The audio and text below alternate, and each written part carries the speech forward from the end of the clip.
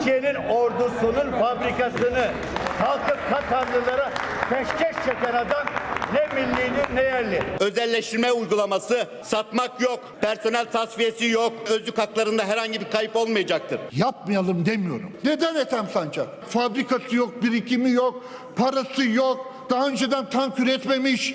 Neden? Sakarya'daki tank palet fabrikasının Katar ortaklı yerli bir firma için özelleştirme kapsamına alındığı iddiası meclisin tansiyonunu yükseltti. İyi Parti'nin konuya ilişkin verdiği araştırma önergesi iktidar muhalefet hattını gerdi. Şirket yerli değil. Yüzde 49.9 hissesi Ethem Sancak'ın değil. Türkiye'nin 25 yıllığına savunma sanayisini Katar ordusuna teslim ediyoruz. Fabrika arazisi ve arazide bulunan her türlü taşınmaz ile her türlü tezgah ve ekim malların mülkiyeti devlette kalacaktır. Yani siz hükümeti programına biz Ethem Sancak'ı zengin edeceğiz diye bir şey aldınız mı? Eski Milli Savunma Bakanı İsmet Yılmaz tank palet fabrikasının işletmesinin Katar ortaklı yerli firmaya devredilmesine ilişkin kararı özel sektörün kaynaklarından ve birikiminden faydalanıyoruz diyerek savundu. Muhalefet milletin kaynaklarını yandaş şirketlere peşkeş çekiyorsunuz tepkisiyle karşılık verdi. Sinirler gerildi. Türkiye'nin ordusunun fabrikasını